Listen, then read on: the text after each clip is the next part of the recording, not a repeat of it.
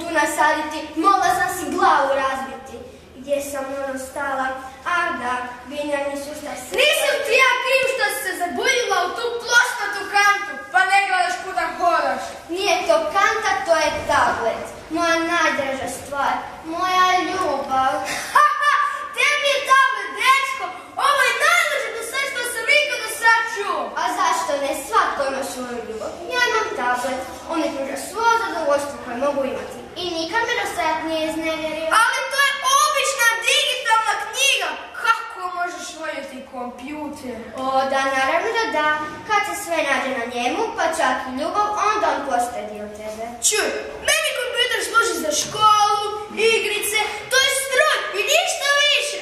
A što tebe briga, jesam ja zaljubljena u tablet ili... u-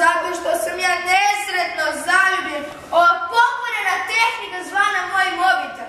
Jutros mi je poslala poruku da se nađemo na nešto u dva. Hm. Što misliš?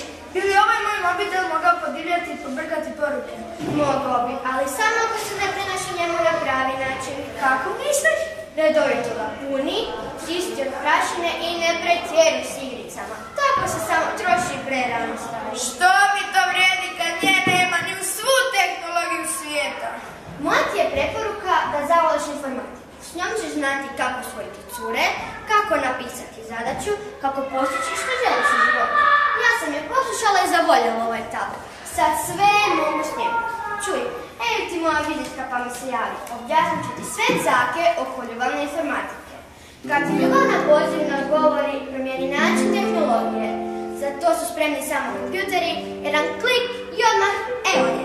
Dino, tehnika danas može sve, za ne, javi mi se! Pa, u stvari, i nije tako loše.